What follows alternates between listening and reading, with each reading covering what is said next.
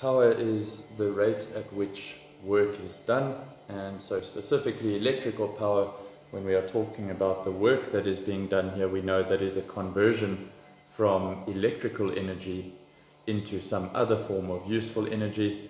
Our most common examples that we will be using are light bulbs, where we convert it from electrical energy into light energy, or resistors, where we convert it into heat energy.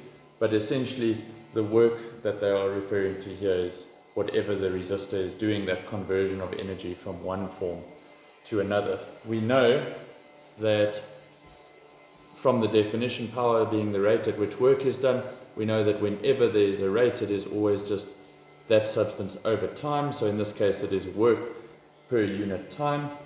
And we also know that this can be rewritten as power being work over time can also be where we know that work over charge and charge over time are two separate terms that we already know, voltage, or potential difference, and current.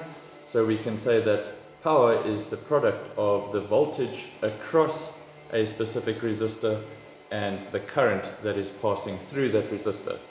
Obviously, using Ohm's law, we can rewrite this where we know that current is equal to voltage divided by resistance. So we can then get voltage where current is voltage over resistance. So we can then find another formula for power is V squared over R.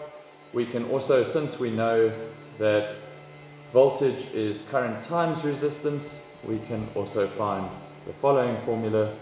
Power is equal to I squared times R again, all of these refer to the resistance of a specific resistor that we are determining the power for, the current that is passing through that resistor and the voltage across the ends of that resistor. So we have three, or essentially four, formulae that we can use to determine the power consumption of a device. We know that power is measured in joules. So when we say that the power of a light bulb is 10 watts, what we're actually saying is that that light bulb is consuming or using or converting 10 joules of energy per second into another form of energy.